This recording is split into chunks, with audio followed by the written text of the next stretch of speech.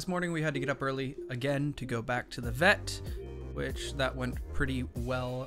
We got a bunch of tests done, as you will see here.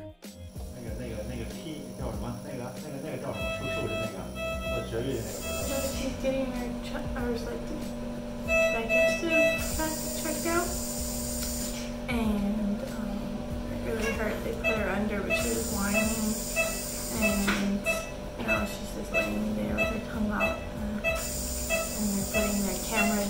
throat and the stomach. And I don't know what looks good and what doesn't look good at all. It's just like fatty material, but there was one area that looked like almost looked like sand and some blood. So I don't know if that's a bad thing or if that's just what a breakdown of something in your stomach looks like. So it's hard. It's hard to see your little animal in such a state, but um, hopefully we'll find out what the problem is and we'll be able to be able to treat her. How you feeling? Feeling a little loopy? A little funny? 过一会儿再吃饭啊，过俩小时之后再给吃饭啊。两个小时，好的。Yeah. 回去过。 Okay.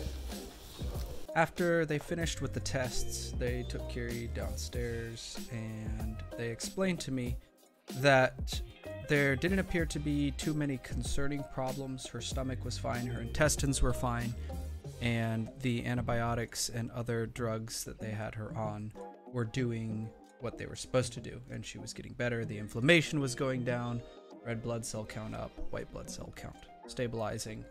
So it appears that she is on the mend because she's very energetic.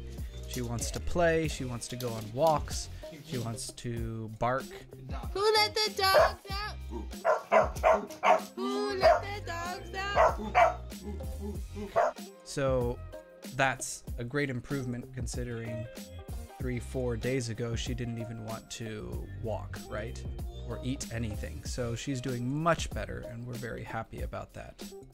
In the evening, I had to go back for another round of injections and IV, but she was feeling much better at that point, and the vets were very happy with the progress that she was making. This afternoon, in between taking her to the vet, I was able to slip in a nap and spend some time with Ellie and Percy and Curie. And uh, I was able to decompress a little. And the past few days have just been so adrenaline filled and difficult for me because it's kind of go, go, go. What does Curie need? What do I need to pay for? um, uh, take care of baby, take care of Ellie, all that stuff. It's just kind of adrenaline filled uh, days, right? Um, but I've been able to decompress a little since then. And um, guess the moral that I would take away from all of this, if I can, is if you look right back there, focus on the little things in life. When you grow older, you'll look back and realize that those were actually the big things in life everything went south very, very quickly. Uh, within the span of 12 hours, I thought Curie was just a little sick with a cold, to, oh wow, uh, she's gonna die tonight. And um, it's, a, it's such a, a, a shock, it's a wake up call just to see how quickly life can change, especially when you don't expect it. Melodramatic Johnny aside, I'm very happy that I can take Curie on walks again. And uh, again, I really appreciate all the help that my friends and family have been giving to us during this whole time. But cross your fingers, things should only be on the up and up from now. She seems to be healing well. And who knows, within a couple weeks, we might be able to take her mountain climbing again. But uh, I think that's it for today.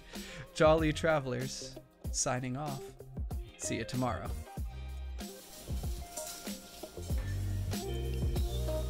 She's supremely interested in the food that's happening over there. Say hello, can I have some? Say hey! Hello! I want some! I'm so hungry!